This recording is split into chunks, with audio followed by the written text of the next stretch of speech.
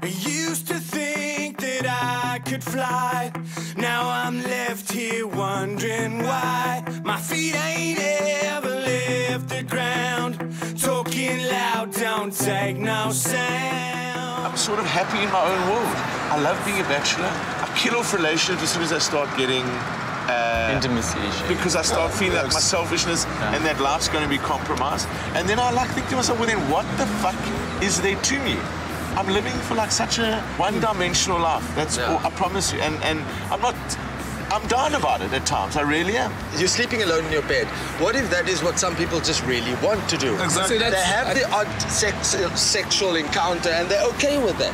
You see, that's the thing. I, you know, I, I'm like that. You know, we, we grow up and we we brought up in a certain way that you reach a certain age, you have to get married and have Well, children exactly. or whatever. I'm, I'm not entirely happy, but I'm happy with what I what I am at the moment. Right now, I'm not married. at, I'm single. yes. I'm going out. I'm partying like a like, like a motherfucker, if I put it that because way. we but the thing it. is, we talk about marriage. I mean, we, we watch it on E Entertainment. I mean, these guys are getting married for what? These are not good Uh, examples. Uh, It doesn't matter. Well, It doesn't entertainment matter. is not a good the backyard thing, as they well. it It's just the that time. it's on TV. we drawing what should be right, not from anything else other than a media construct, which is another human What being told us telling us, to- that it's right. Yes. So, because Valentine's Day is the 14th of February, you must go and buy Lindt chocolate. No, that's uh, marketing. I'll still take her out for a really nice dinner. It doesn't have to be labeled as a romantic dinner. Yes. I'm not gonna have like a, Yeah. a bed full of roses. I mean, who the fuck thinks of that shit putting roses on the bed? Yeah, but- You know, I mean, really,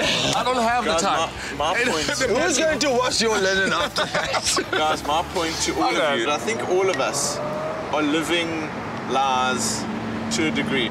we all do things so that we can gain something else. No, no, no, that's rubbish. Okay. Fucking cars. Seriously. No. You've been living under a rock. No, no, no.